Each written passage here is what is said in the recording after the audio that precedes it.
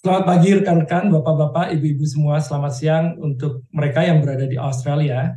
Selamat datang dan bergabung di Forum Kebijakan Pembangunan 21 September 2023. FKP hari ini akan berlangsung dalam bahasa Indonesia. So today's event will be conducted in bahasa Indonesia. Saya Firman Ditular, Fellow di Indonesia Project ANU.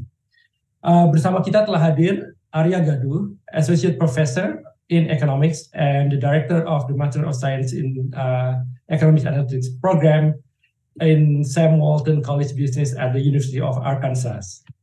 Profesor Arya Gadu uh, saat ini telah mempublikasikan berbagai risetnya di jurnal-jurnal ekonomi yang paling terkemuka, uh, termasuk American Economic Review, The Economic Journal, American Economic uh, Journal of Applied Economics, dan jurnal-jurnal lainnya. Hari ini Profesor Arya Gadu akan mempresentasikan salah satu riset terakhirnya, yaitu uh, Optimal Public Transportation Networks, Evidence from the World's Largest uh, Bus Rapid Trans uh, Transit System in Jakarta, BRT. Uh, dan tema ini uh, mungkin sebagian besar dari uh, para uh, uh, attendants uh, tahu bahwa ANU Indonesia Project baru saja menyelenggarakan di Indonesia Update Conference yang ke-40 di Canberra akhir pekan kemarin dengan tema Governing Urban Indonesia, di mana transportasi urban menjadi salah satu topik sentral. Karena itu presentasi uh, hari ini uh, sangat tepat waktu. Silakan uh, Arya, Anda uh, uh, punya waktu 40 menit untuk presentasi, lalu akan kita lanjutkan dengan uh, Q&A. Silakan.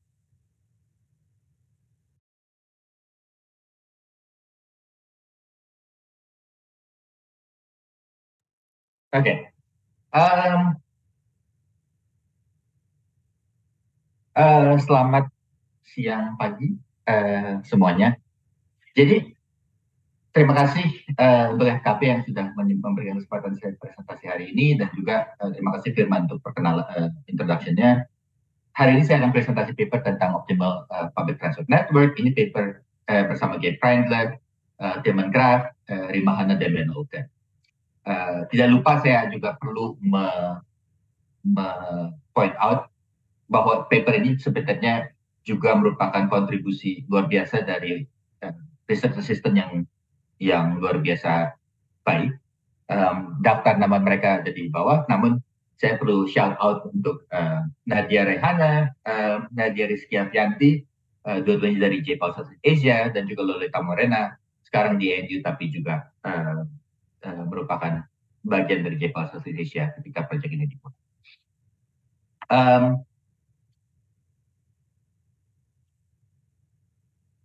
juga saya mau uh, acknowledge uh, beberapa institusi yang mendukung riset ini, tapi yang utama saya mau angkat di sini selain NSF dan lain sebagainya adalah uh, betapa riset ini telah dimungkinkan uh, oleh kerjasama yang sangat generous uh, dari PT Transjakarta. Mereka bukan saja mensupport kami uh, dalam membagi data, data dengan kualitas dan organisasi yang sangat baik, tapi juga mereka be begitu mensupport eksplorasi untuk mencoba memahami eh, aspek-aspek uh, yang uh, sebentar lagi saya akan presentasikan.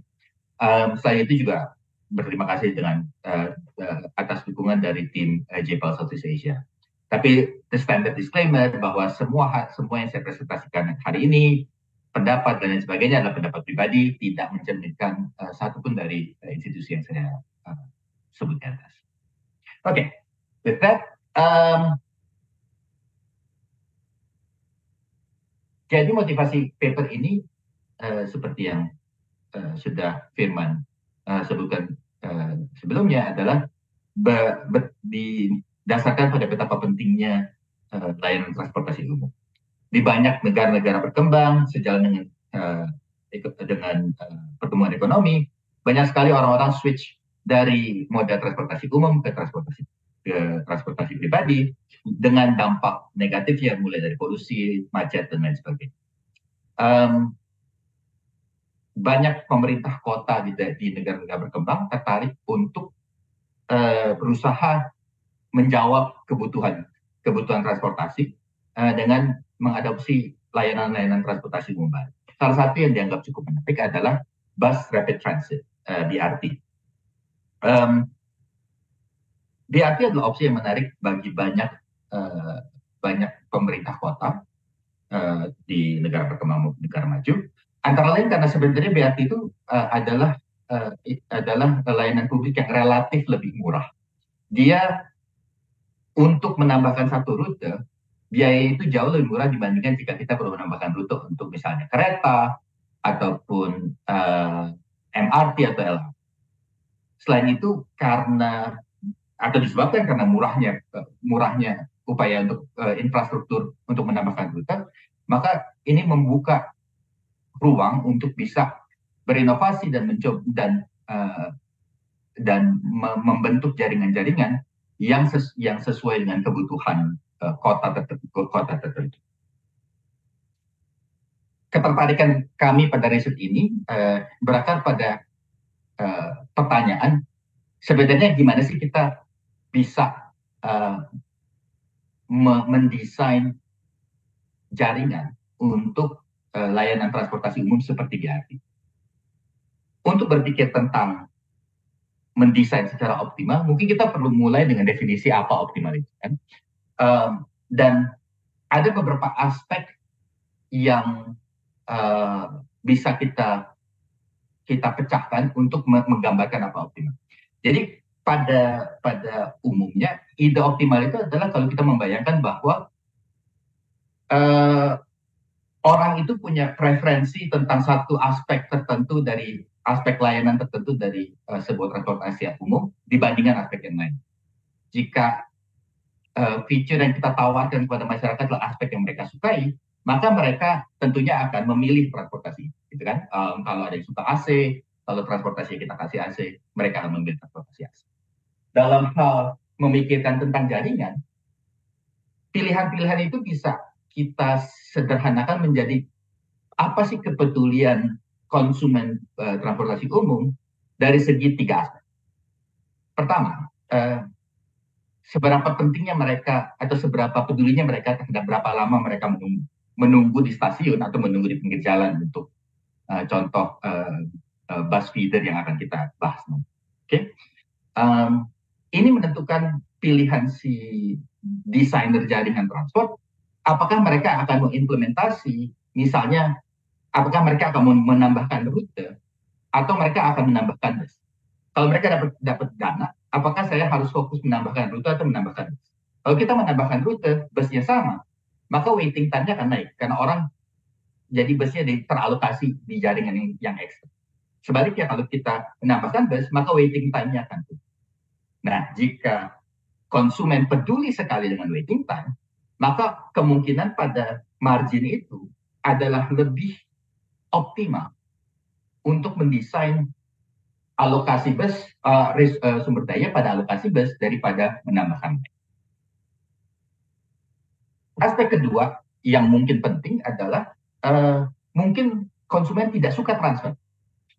Um, ini menentukan bagaimana bentuk dari jaringan itu apakah jaringan itu akan akan uh, dibuat banyak sekali direct connections dari A ke B, B ke C, C ke A misalnya atau jaringan itu dibuat sebagai bentuk hub and spoke. Jadi contohnya seperti ini. Jaringan yang direct kemungkinan akan lebih mahal dibandingkan jaringan yang hub and spoke. Tapi jika konsumen benar-benar sangat peduli untuk bisa uh, bisa uh, travel di jaringan yang yang direct, maka mungkin it's worth adalah lebih optimal membangun transportasi network dengan jaringan direct untuk meningkatkan uh, jumlah jumlah uh, penumpang dibandingkan apa. Jadi lagi-lagi ini ide bahwa ketika kita memikirkan ini, apa yang disukai oleh uh, konsumen itu akan menentukan bagaimana uh, uh, desain uh, jaringan yang kita pikirkan. Aspek ketiga adalah uh, konsumen mungkin peduli seberapa lama dia ada di dalam bus. Ini mungkin terjadi karena kalau busnya nyaman mungkin saya lama di bus nggak apa-apa. Tapi kalau busnya tidak nyaman, mungkin berada di dalam bus itu sesuatu yang tidak nyaman sehingga saya akan berusaha memilih rute di mana uh, saya sedikit mungkin berada di dalam bus untuk perjalanan. Jadi travel travel time itu akan serendah mungkin. Ini misalnya menentukan desain di mana kita akan memilih apakah kita akan meletakkan banyak sekali stasiun stop, gitu ya, sehingga kalau uh, busnya itu jalan, dia akan bisa mengcover jarak yang relatif kecil, gitu. atau kita akan membuat banyak sekali bus yang jarak uh, stasiunnya itu sangat jarang, sedemikian rupa sehingga mereka um, uh, bisa mendapatkan sesedikit mungkin waktu berada di dalam. Okay. Jadi ini tiga parameter, tiga uh, preference consumer, uh, tiga kepedulian konsumen yang kita mau coba ukur menggunakan data. Dan nanti menggunakan parameter ini kita berusaha menggambarkan seperti apa sih network optimal yang bisa kita terapkan di uh, Jakarta dan sekitar. Oke, okay. um, ke depan untuk memudahkan, saya akan bilang tiga parameter ini sebagai value of wait time atau wait time, transfer cost, um, dan travel value of travel time atau travel time. Jadi kita akan bilang parameter wait time, parameter transfer cost, dan parameter uh, travel. Um, jadi seperti saya bilang, di, yang, kami, yang kami lakukan di sini adalah berusaha menggunakan data untuk melihat dan dan mengkuantifikasi uh, parameter uh, wait time, uh, transfer cost, dan travel. Bagaimana kami lakukan ini? Jadi uh, pertama kami yang kami lakukan adalah kami berusaha uh, menggunakan data untuk melihat respons penumpang terhadap ekspansi dan uh, penambahan penambahan rute di Transjakarta uh, menggunakan data dari 2016 sampai 2020. Jadi idenya di sini adalah uh, beberapa jenis ekspansi bisa menangkap uh, uh, kepedulian konsumen terhadap tiga parameter tadi setelah kita mengukur uh, dampak dari tiga tipe ekspansi yang nanti saya akan jelaskan, um, kita me me me membuat sebuah travel demand model, terus kita berusaha matching menggunakan hasil empirikal itu, se apakah uh, seperti apakah sebenarnya on average uh, kepedulian konsumer terhadap tiga parameter itu, jika kita melihat data empiris satu hasil dari data empiris. Dan ini memberikan kita parameter tentang perilaku atau preference parametersnya konsumer um, untuk hal-hal tersebut yang dipisahkan antara dan, dan non biar.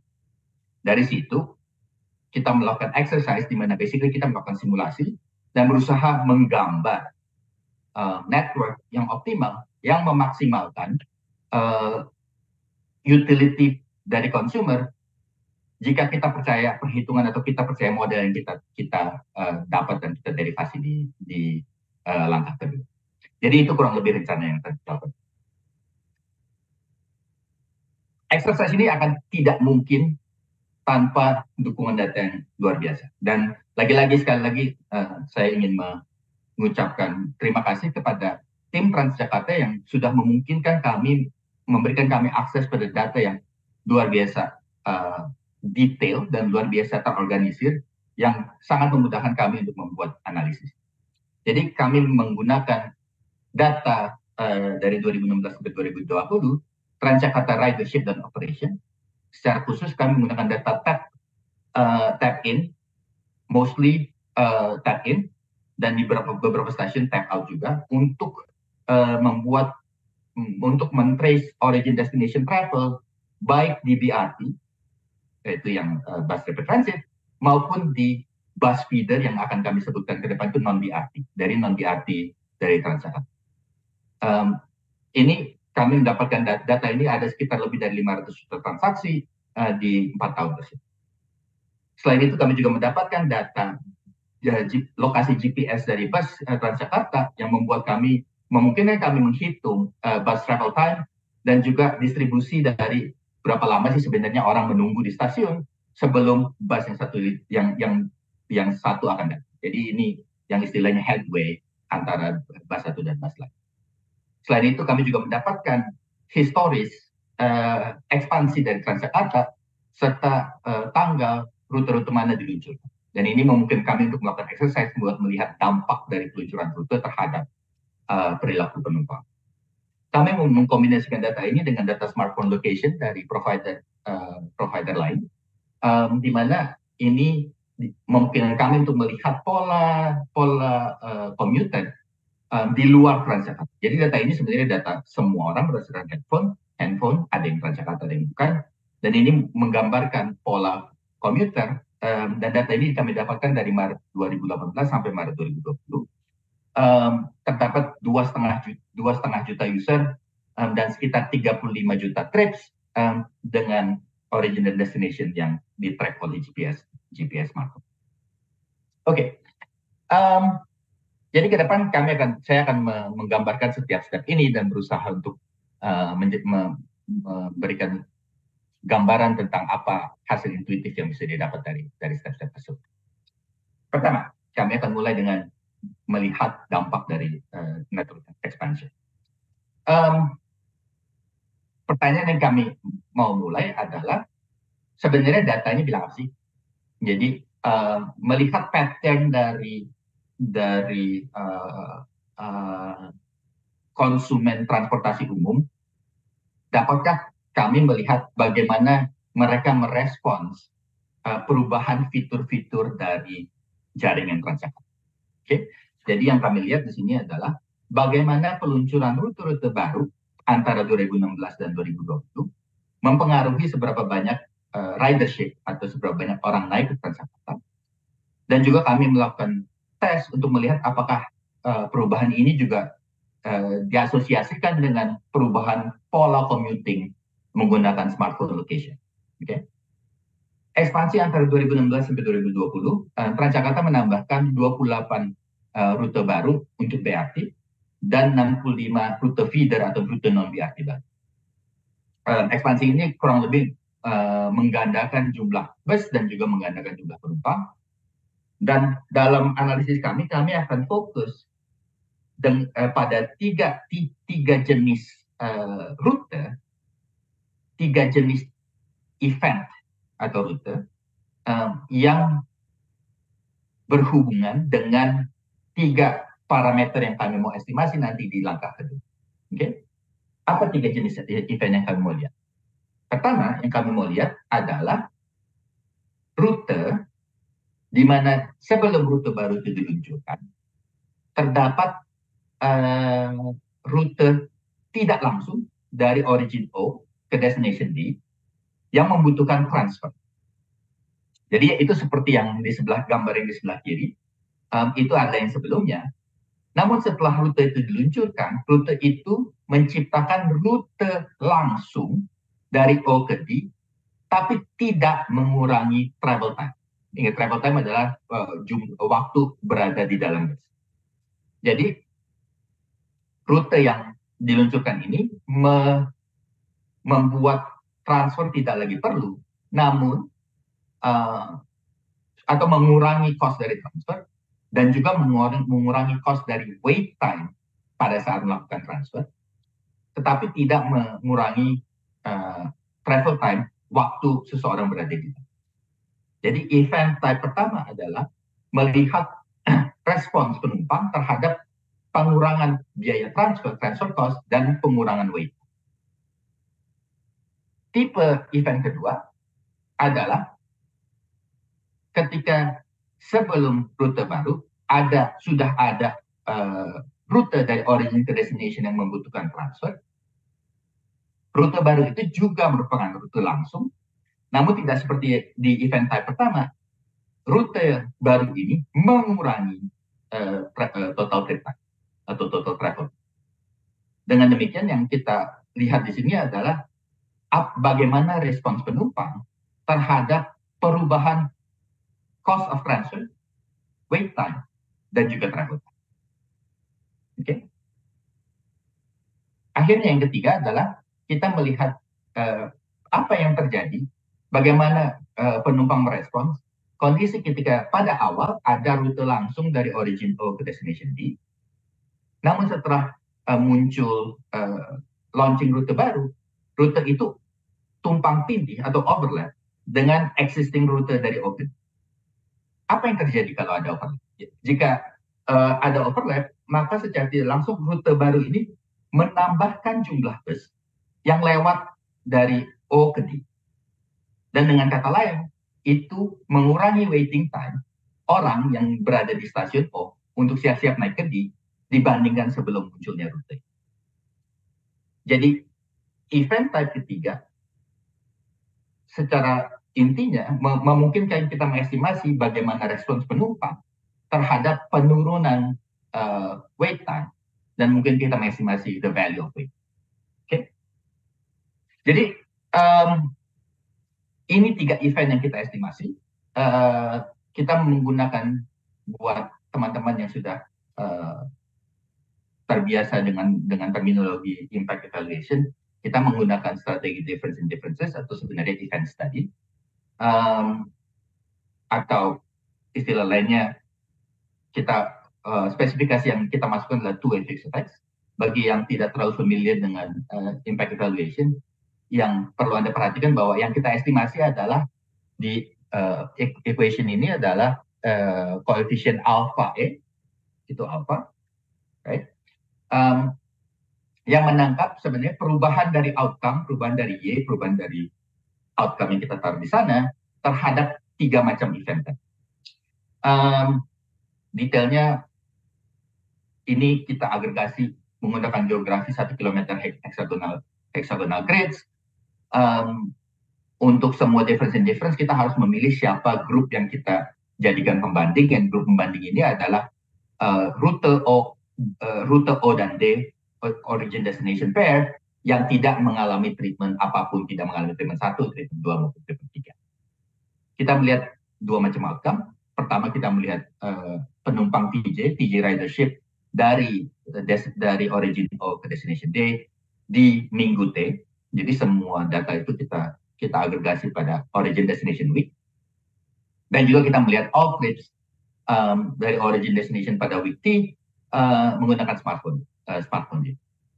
Uh, detail yang mungkin nggak terlalu menarik, cuma mungkin jika Anda tertarik dengan metode, um, kita melihat ini uh, 10 minggu ke depan dan 10 minggu ke belakang sebelum terjadinya launching dari uh, event 1, event 2, event 3. Um, estimasi di, di estimasi menggunakan uh, Poisson pseudo maximum likelihood uh, and that's that. Oke. Okay. Apa yang kita pelajari dari sini?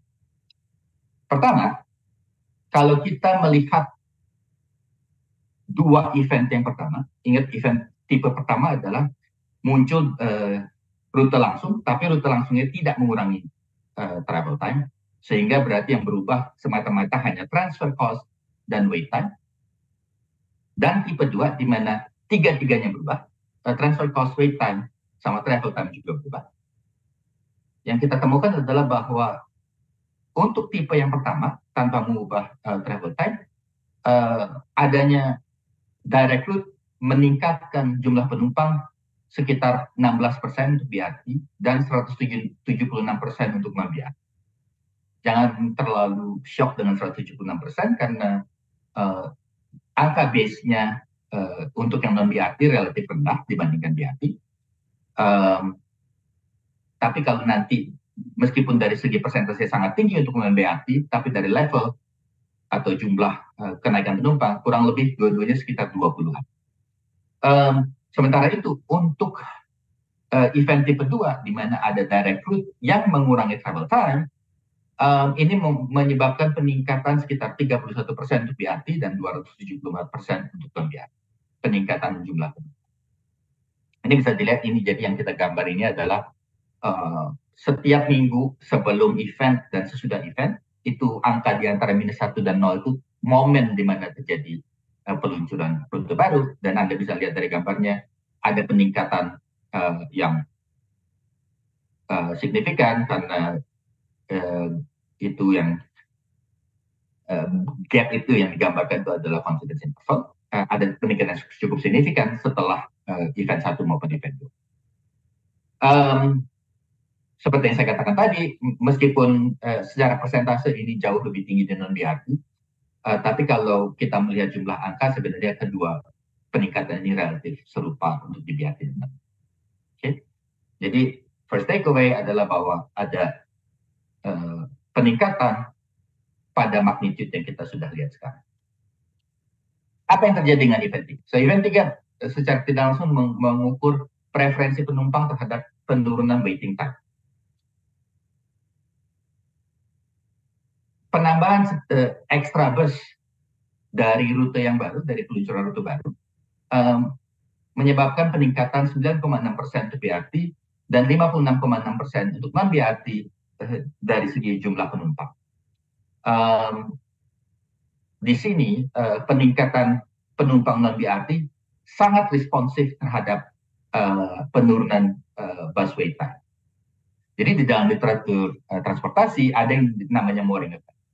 Uh, mooring effect itu meng menggambarkan bahwa jika uh, jumlah jumlah uh, penumpang itu positifly atau responsif secara positif terhadap uh, uh, wait time atau terhadap uh, penurunan wait time, maka sebenarnya di dalam sistem transport itu terhad, uh, bisa bisa ada uh, positive external uh, dan potentially bisa bisa justru sam bisa sampai kepada uh, increasing return to scale. Karena dengan naiknya penumpang uh, maka si penyedia bus akan menyediakan lebih lebih banyak bus sehingga wait time akan berkurang dan itu dan wait time yang merupakan biaya untuk penumpang itu turun sehingga bisa cenderung meningkatkan jumlah penumpang. Jadi relasi ini relasi yang digambarkan dengan seberapa responsif sih uh, kenaikan penumpang terhadap penurunan wait time. Jika dia positif, itu menunjukkan apa yang disebut mooring. Um, dan kita menemukan bukti some kind of mooring effect, uh, baik di BRT maupun di non-BRT. Tapi mooring effect ini jauh lebih besar di non-BRT. Um, 1,05 itu berarti bahwa sekitar untuk satu persen uh, penurunan busway time itu uh, direspon diresponi dengan 1,05 persen uh, peningkatan di ridership. Sehingga untuk non BRT tertentu mungkin ada argumen untuk melakukan memberikan subsidi sehingga mereka uh, bisa meningkatkan jumlah penumpang yang akan feedback untuk uh, meningkatkan uh, jumlah uh, bus yang tersedia. Salah satu alasan itu mungkin adalah uh, salah satu alasan mengapa kita menemukan efek yang lebih besar untuk non BRT antara lain karena memang frekuensi bus untuk non BRT itu jauh lebih rendah dibandingkan BRT. Jadi median uh, waktu antar bus headway untuk BRT itu untuk non BRT itu sekitar 9,5 menit. Sementara median headway untuk BRT itu hanya 3,7. Dan mungkin pada level itu memang masih ada cukup banyak ruang untuk bis, untuk mooring effect itu bisa uh, muncul. Satu hal yang sebenarnya uh, dari segi analisis mungkin mengkhawatirkan adalah jangan-jangan apa yang kami observe itu semua itu terjadi karena ada sesuatu di luar uh, di luar BRT yang memang mendorong peningkatan travel uh, di jalur-jalur yang yang mengalami event uh, satu, event dua maupun event tiga. Karena itu kami melihat mencoba melihat apakah overall trip itu ter, itu positively affected uh, terdampak positif uh, oleh event satu, event dua maupun event tiga.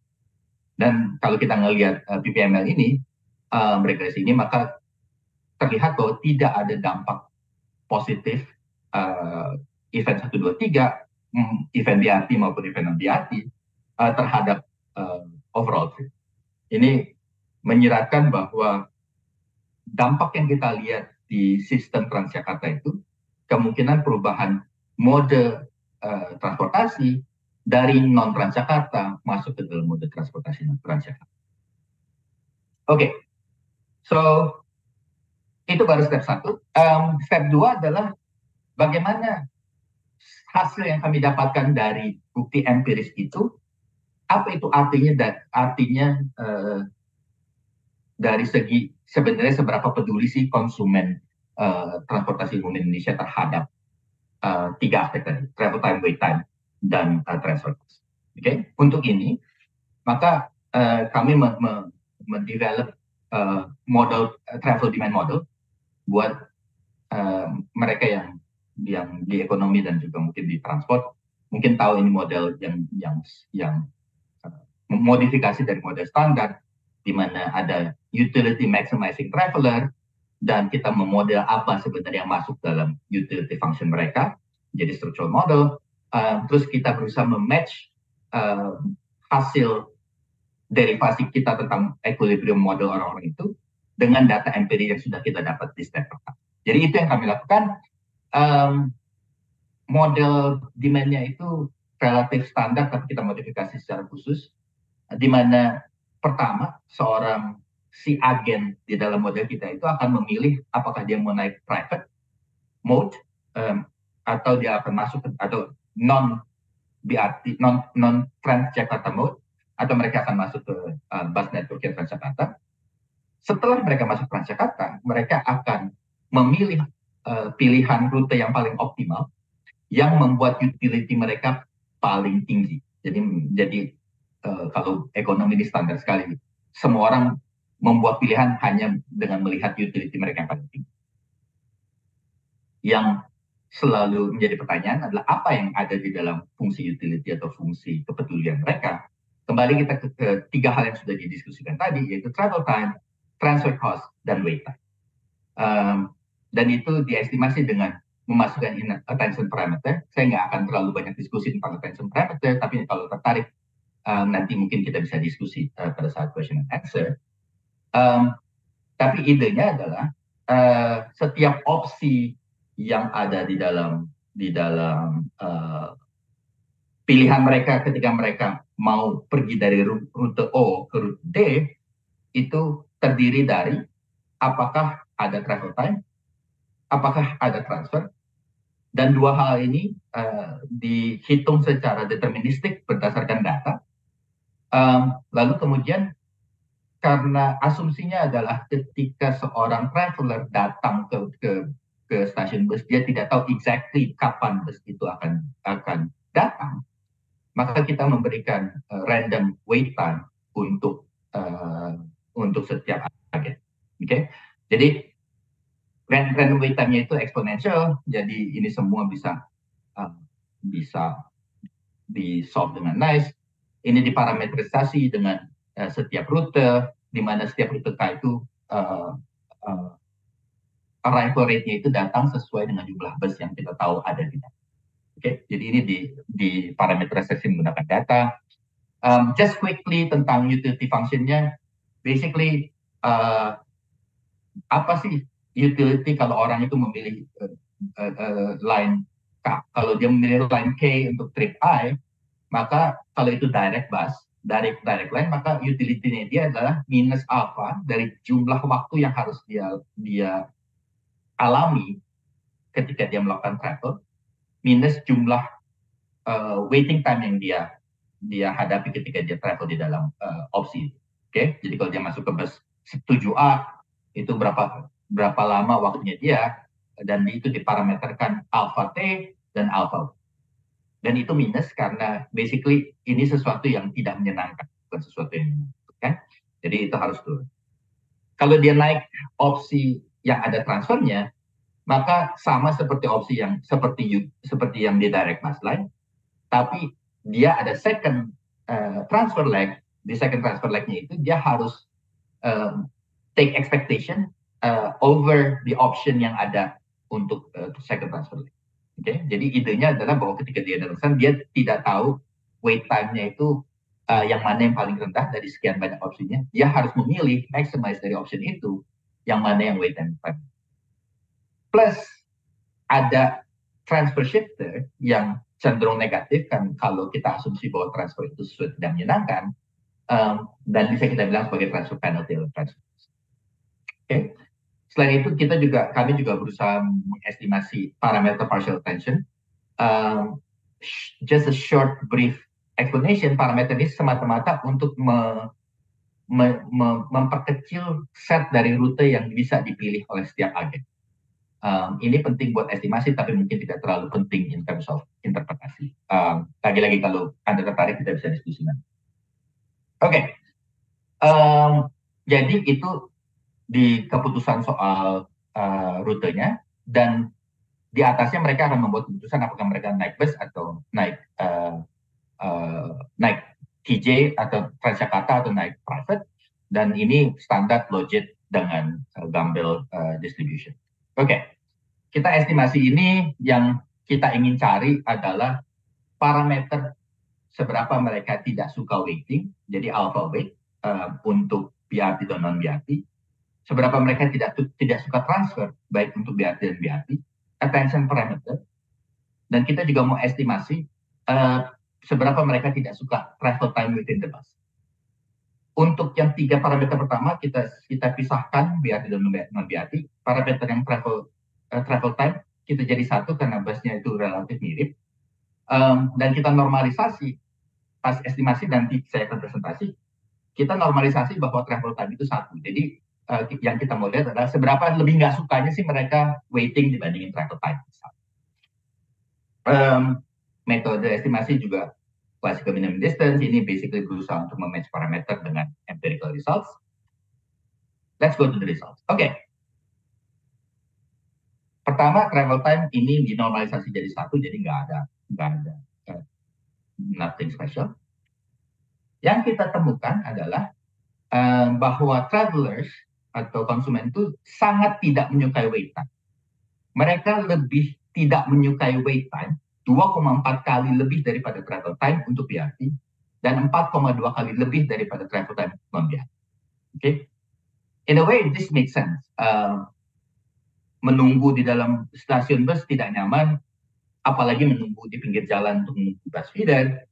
Um, tapi yang penting adalah bahwa kita dapat angka ini untuk untuk exercise selanjutnya yang akan kita lakukan untuk menghitung, untuk menggambar strategi optimalnya. Right? Kita juga menemukan bahwa ternyata transfer is not a big deal. Untuk mengklarifikasi di sini transfer yang dimaksud tidak mengikut sertakan waiting time ketika Anda nunggu transfer selanjutnya. Waiting time itu masuk dalam waiting time ketidaksukaan transfer itu mungkin sesuatu bahwa Anda tadinya duduk di bus pertama, terus Anda harus pindah ke bus kedua yang mungkin Anda nggak akan bisa duduk. Atau Anda harus jalan uh, dan keluar dari bus pertama, lari-lari untuk menuju bus kedua. Jadi itu sort the penalty yang kita mau lihat, apakah konsumen uh, uh, BRT itu peduli dengan dan ternyata transfer penalty is relatively unimportant. Kalau Anda lihat confidence intervalnya itu nol ada di dalam confidence interval yang bisa dilihat di bawah. Um, selain itu ada retention color, again, I'm not going to talk too much about. Oke, okay. sekarang jadi kita udah punya uh, parameter yang menggambarkan perilaku konsumen transportasi umum. Dan yang, yang kita mau coba lakukan sekarang bisa kita gambar apa manifestasi dari preferensi itu terhadap uh, jaringan network yang optimal. Oke, okay? um, untuk itu kita memulai dengan apa sih kanvasnya? Kita mau gambar di mana? Yang kita mau gambar adalah kita mau gambar ini di Greater Jakarta, oke, okay, Jabodetabek. Um, ini gambar ini kita lihat bahwa ada titik-titik dan besar titik itu menggambarkan populasi.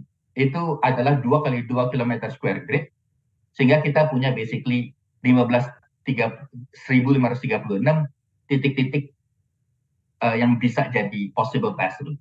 Jadi kalau Anda gambar titik-titik itu garis-garis, ada 1530 kemungkinan uh, garis yang Anda bisa uh, hubungkan. Um, dan kita menghitung berapa bus travel time between each grid cell. Right? Um, seperti yang Anda bayangkan, kalau Anda punya 1536 garis yang bisa Anda gambar, maka Anda uh, kemungkinan uh, konfigurasi jaringan bus itu luar biasa besar right? Um, we're gonna get get get that uh, get back on that issue. Tapi sekarang yang ingin kami lakukan adalah bagaimana kita meng mengoptimisasi dengan asumsi bahwa kita punya 1.500 bus yang kita mau alokasiin. Kita udah punya welfare functionnya yang tadi kita estimasi di step kedua dengan parameternya. Dan kita mau mengalokasi berapa banyak bus, berapa berapa banyak station dan shape shape-nya itu seperti apa. Seperti yang tadi, tadi saya sudah bilang, kita punya 1536 garis yang perlu digambar. Ada begitu banyak uh, kemungkinan yang yang mungkin, right? Jadi um, di matematika ada yang namanya traveler salesman problem, di mana uh, kalau kita berusaha gambar titik-titik terpendek dari dari banyak titik, itu susah sekali karena konfigurasinya sangat banyak sekali. Secara analitis susah sekali di solve sebagai matematik, sebagai mathematician, tapi mungkin secara algoritma bisa di solve, right? Um, dan indeed that's what we are trying to do. Kita berusaha menggunakan algoritma dan simulasi untuk berusaha mencari beberapa opsi bentuk jaringan yang maximize net welfare berdasarkan fungsi yang sudah kita kalkulasi sebelumnya. Fungsi ini sedikit kayak magic. Okay? so I'm going to assume bahwa ada miracle and our results happen. But basically, what the miracle that I'm talking about uh, adalah kita masukin ini dalam uh, simulasi yang namanya simulated annealing dan mencari uh, potensi, mencari berbagai bentuk jaringan yang mungkin yang memaksimalkan welfare yang sudah kita diskusikan sebelumnya. Apa yang kita kita pelajari? Pertama, kalau kita melihat uh, gambar ini, ini adalah gambar uh, network Transjakarta yang sekarang. Ini baik BRT non BRT. Right? Di sini yang menarik adalah bahwa uh, ada cenderung ada kecenderungan untuk konsentrasi bus di city center. Jadi kita melihat misalnya gambar yang sebelah kanan ini adalah arrival rate bus-bus itu. Kita melihat bahwa yang makin tebal itu berarti arrival rate-nya makin pendek. Itu berarti uh, waiting time-nya sangat rendah. Kita melihat banyak sekali waiting time sangat rendah di, di tengah, tapi begitu kita sedikit keluar dari jaringan, maka waiting time-nya itu bisa 10 menit. Um, ini menunjukkan bahwa desain yang sekarang cenderung berusaha melayani banyak yang di tengah, uh, at the cost of orang yang sedikit menjauh dari. Oke. Okay? Ini adalah gambar salah satu contoh network network yang kita generate dari uh, optimal algorithm. Yang kita temukan di sini adalah pertama uh, network itu cenderung lebih terpencar, jadi dia lebih uh, lebih menyebar.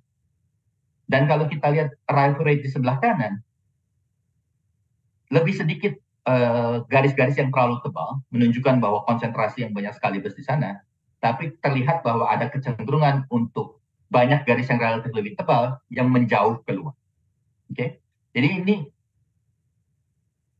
bisa dibayangkan bahwa ini in part karena kita melihat bahwa kalau orang peduli wait time, maka menyebarkan wait time itu mungkin bisa meningkatkan uh, ridership. Oke, okay? sebelum ada yang mengkritik bilang wah Transjakarta kenapa nggak ikutin aja gini ini ini gitu saya perlu menjelaskan bahwa ada kaveatnya kaveatnya adalah bahwa analisis yang kami lakukan ini tidak memperhitungkan uh, political constraint dari Transjakarta misalnya bahwa uh, daerah di luar DKI tidak mau untuk me, me, me, atau membayar uh, pembangunan BRT misalnya jadi okay, kami uh, membiarkan yeah. ini semua jalan sorry Oke, okay, Arya uh, bisa mulai wrap up. Yeah, so this is the last slide basically. Oke. Okay. Um, ini kita ngasih unjuk basically kalau kita melakukan 200 kali gitu ya, apa yang terjadi uh, antara optimal dengan current network dan intinya adalah kita akan menemukan bahwa yang optimal itu cenderung uh, punya banyak lokasi yang lebih punya akses ke bus, location more location pairs yang akan terkoneksi dan kalau kita melihat dari sisi orang lebih banyak orang yang akan punya akses ke bus. Jadi itu basically sort of like um, apa yang bisa kita estimasi dan kita juga bisa melihat ridership dan lain sebagainya. And that's the uh, in general hasilnya ini summary aja bahwa hasil yang kami dapatkan yang essentially bilang bahwa uh, uh, konsumen transportasi umum tidak menyukai wait time dan itu punya implikasi tentang bagaimana bentuk uh, network yang harus dibuat. Um, that's it.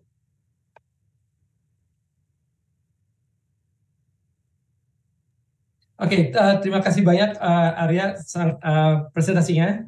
Uh, pada saat pertama kita membaca paper ini, ini paper yang uh, kelihatannya agak susah untuk dibaca, namun ternyata bisa dijelaskan dengan cukup baik. Uh, tapi tentu masih banyak pertanyaan, baik klarifikasi maupun juga uh, implikasinya uh, dari uh, uh, paper ini. Uh, silahkan uh, kita mulai uh, seksi Q&A. Uh, uh, bisa raise hand untuk uh, lalu saya ya, kami unmute atau menuliskan pertanyaan di Q&A.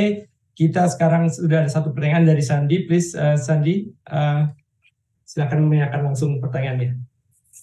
Uh, Halo, dari mana ya. juga? Ya. Ya, thank you Pak Firman. Halo Arya. Uh, presentasinya menarik ya. Jadi saya punya tiga pertanyaan sih sebenarnya. Jadi pertanyaan pertama itu uh, apakah uh, model estimasi dampaknya ini tuh sudah memasukkan faktor antisipasi. Jadi kalau misalnya gampangnya kalau misalnya ada pengumuman TJ bilang bahwa ada ekspansi di jalur sana, nah apakah modelnya mengakomodasi hal itu, model estimasi dampak uh, ekspansi tadi itu yang pertama. Yang kedua itu kan sebenarnya kalau kita lihat TJ ada dua tipe ya. Jadi orang yang memang rutin, jadi misalnya rumahnya di misalnya di mana ya di Cinere gitu, terus dia memang uh, routinely travel ke ke misalnya pusat Jakarta gitu. Dengan orang yang dia sebenarnya itu random aja gitu, karena ada sesuatu dia uh, travel dari barat ke timur gitu.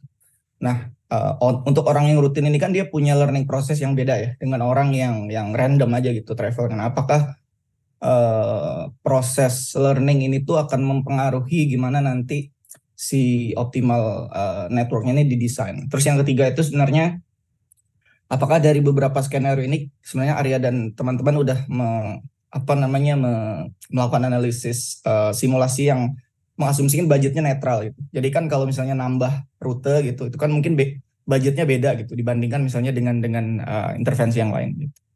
Itu aja pertanyaan saya. Thank you. Oke, okay, Arya sebelum dijawab, uh, kita bisa lanjut, uh, lanjut uh, ke pertanyaan dari Yesi. Kalau Yesi akan menanyakan secara langsung atau tidak? Atau silakan jawab dulu Arya. Sementara ini kita akan tanya apakah Yesi nanti mau tanya langsung. Please Arya, tolong dijawab Sandy. Menjawab Sandy, dari segi antisipasi, kalau kita ngelihat gambar ini sih kelihatannya bukan anticipation effect ya. Jadi cara kita jadi kalau kita ngelihat bahwa anticipation effect kan kemungkinan dia akan dip either dia dip terus naik atau dia jump terus turun gitu kan. Gambar gambar-gambar yang uh, hasil estimasi ini menunjukkan bahwa kelihatannya uh, ini is not quite uh, anticipation effect.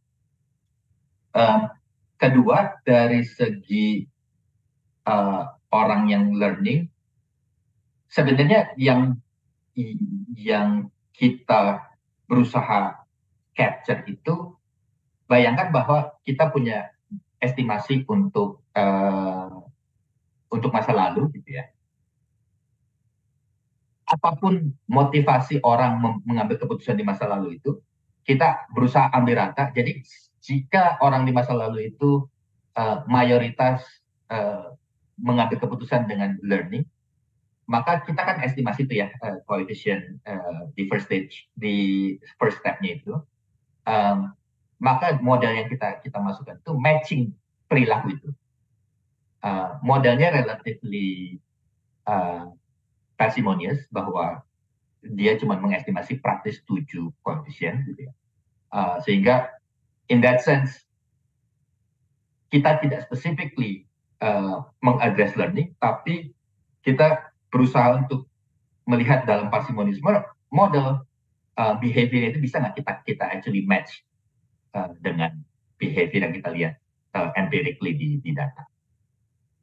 I don't know if I answer your third question, um, Sandy.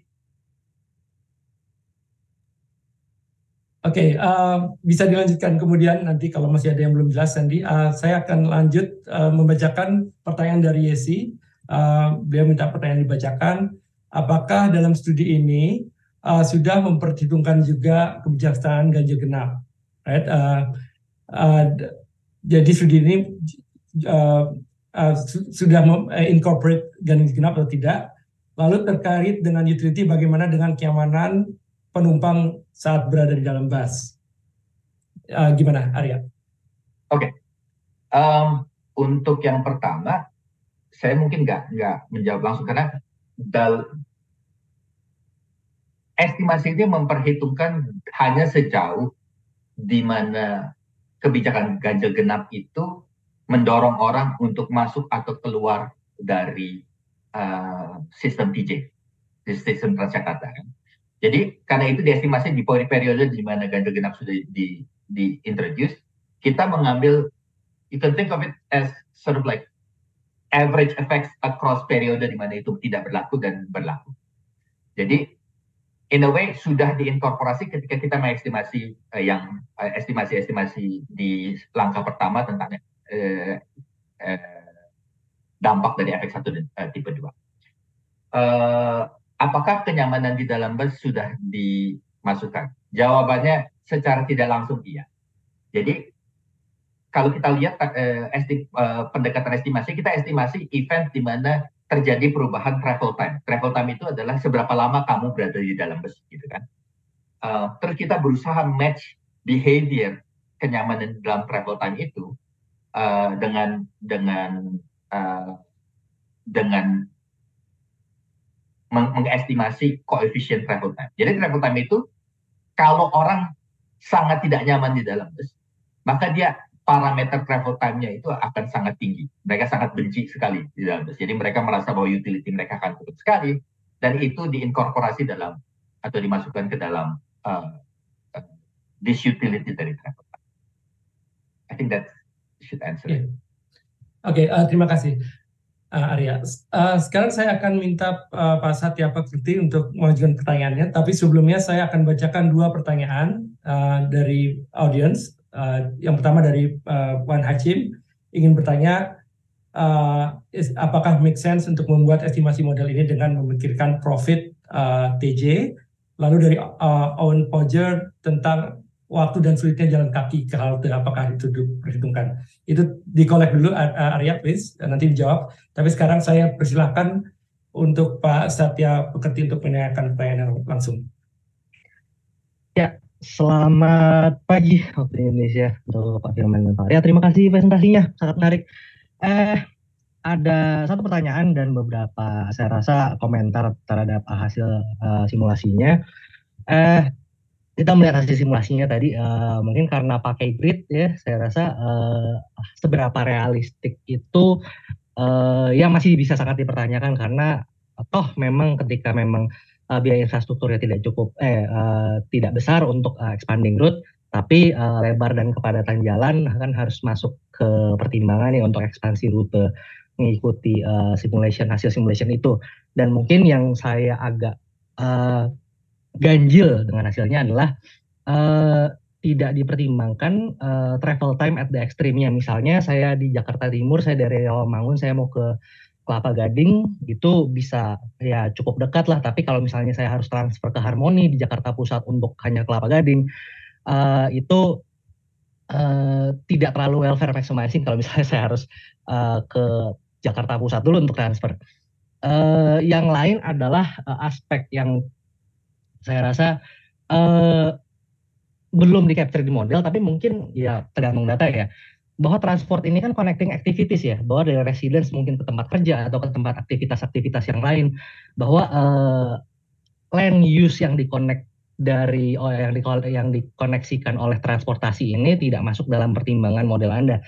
Uh, tetap saya saya saya melihat hasilnya bagus tapi uh, mungkin uh, kesimpulan yang bisa kita dapat adalah welfare maximizing itu tidak se straightforward itu masih banyak uh, aspek lain yang perlu dipertimbangkan di uh, modelnya tapi uh, pertanyaan saya adalah uh, or uh, di, di hasil simulasi anda ini memperluas jangkauan uh, uh, apa uh, networknya tapi waiting time-nya yang kita bisa lihat ada banyak 30 detik di daerah Jakarta Pusat, tapi kemudian menipis, kemudian waiting time-nya okay. meningkat. Ini kan Anda waiting time-nya okay. meninggi ya. Nah, pertanyaannya adalah uh, kemudian orang uh, kalau kita lihat di Eropa, orang mungkin 15 menit tidak masalah, tapi yang jadi pertanyaan saya waiting time yang orang tidak suka adalah waiting time atau uncertainty-nya. Apakah 15 yeah. menit tidak masalah? Okay. Terima kasih. Oke, okay, ya, Terima kasih. Silakan uh, Arya. Jadi dua pertanyaan dari uh, Immanuel Satya Pekerti dan dua pertanyaan dari uh, yang di Q&A okay. box. Jadi uh, saya saya baru ingat pertanyaannya uh, Sandy dan ini ter, uh, terkait juga dengan pertanyaan Pak Wan Hashim tentang estimasi modal dengan masukan profit. Uh, mungkin pertanyaan Sandy adalah uh, ini apakah ini uh, uh, cost neutral? Jadi kita dalam op, dalam optimisasi optimisasinya itu kita menfix menfix uh, infrastructure kita memfix 1.500 busnya, juga memfix survey infrastructure cost-nya. Jadi in a sense, between comparison di dalam optimisasi itu cost neutral. Tapi kita nggak punya, actually kita nggak punya cost.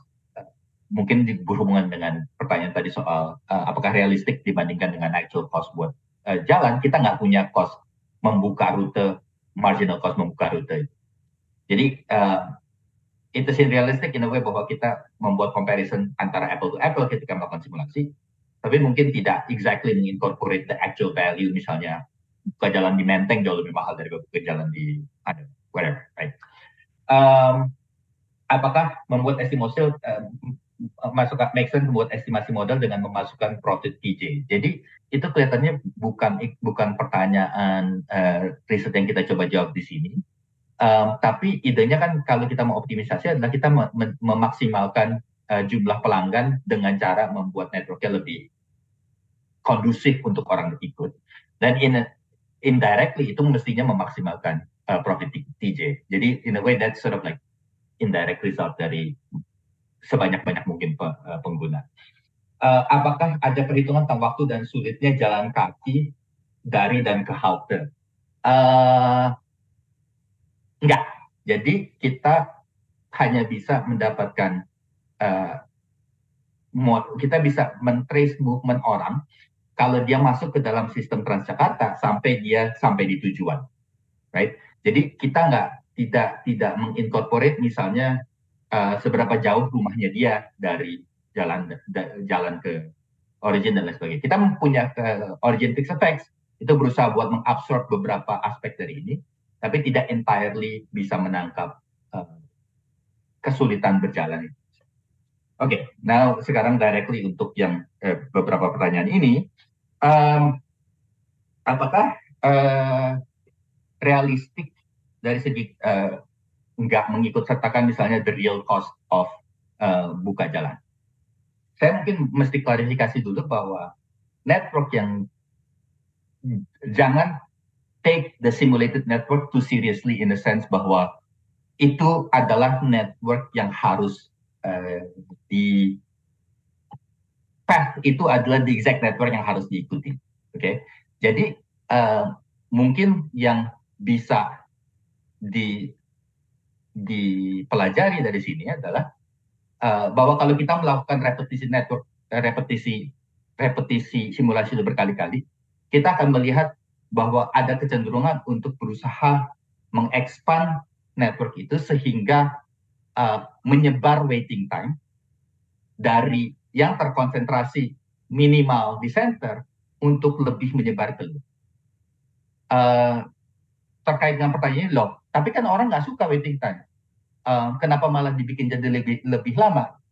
Dan jawabannya adalah kalau kita hanya ter, terkonsentrasi di beberapa daerah, ketidaksukaan orang dari waiting time membuat mereka yang dari luar bahkan tidak mau masuk sama sekali ke dalam sistem, gitu kan?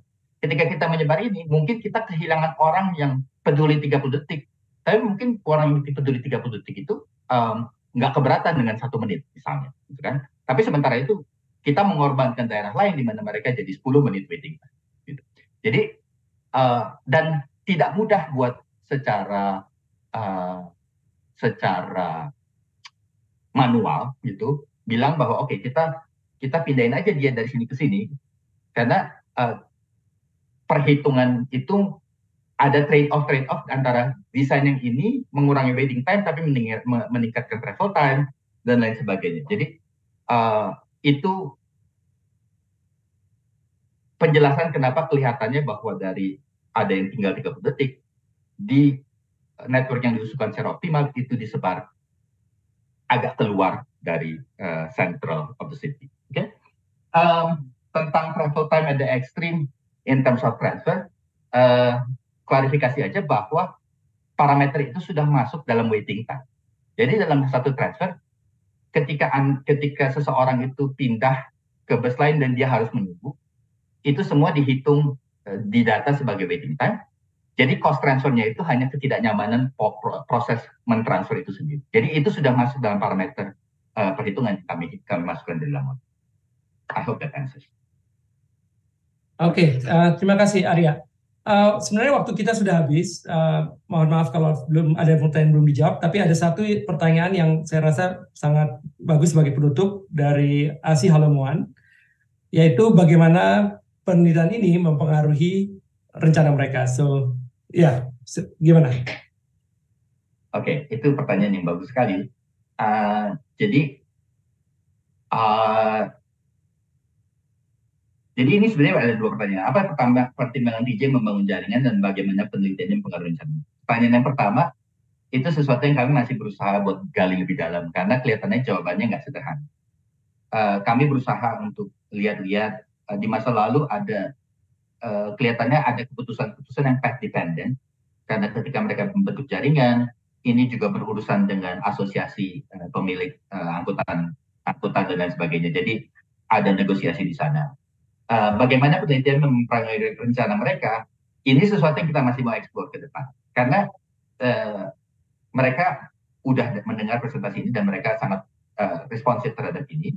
Uh, tapi mereka sendiri punya banyak constraint yang di luar mereka. Gitu kan? Mereka punya constraint yang datang dari dinas, constraint yang mungkin sifatnya politis tentang ada jalur yang dianggap penting dan harus dibuka dan lain sebagainya. Tapi mereka sangat responsif. Uh, orang-orang di sana, orang-orang yang sangat mengerti dan saya sangat respect, sangat mengerti tentang uh, public transport, urban transport, uh, dan mereka tahu bahwa bahwa you know, kalau ada aspek yang bisa dimodify, it's uh, worth trying and worth doing. I think mungkin itu jawaban yang tidak menjawab.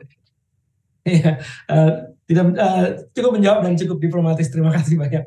Uh, Oke, okay, uh, dengan ini kita uh, uh, uh, selesai uh, uh, forum uh, kebijakan pembangunan hari ini. Terima kasih banyak uh, Arya atas presentasinya. Terima kasih banyak uh, para uh, partisipan atas pertanyaan dan diskusinya.